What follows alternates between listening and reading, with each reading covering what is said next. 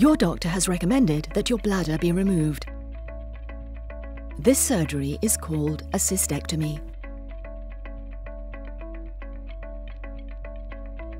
In men, complete bladder removal includes removal of the prostate.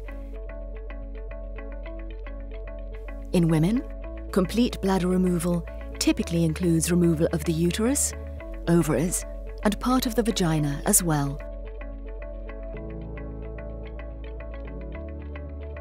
To remove the bladder, the surgeon must separate both ureters from the bladder, the tubes that carry urine from the kidneys to the bladder.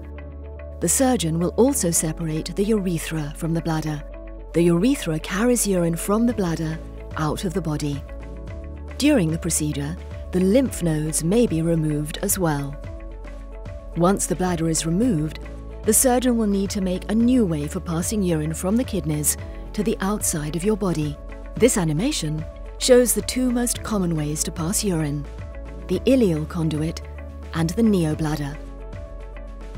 Type 1. The ileal conduit. The ileal conduit is a new tube to carry urine. It is made from a section of your intestine. The conduit runs from the ureters, the tubes that carry urine from your kidneys, to an opening in your belly, called a stoma or a urostoma. Urine is collected in a small bag placed over the stoma. The bag will need to be emptied when it is full. You will be given instructions on how to change the bag. Type 2, the neobladder. A neobladder, or new bladder, is a pouch created from a portion of your intestines to store urine inside your body. The ureters are connected to one end of the neobladder. The urethra connects to the other end just like in your original bladder. You will pass urine through the urethra. Follow-up care is provided by your doctor or a specialist nurse after you leave the hospital.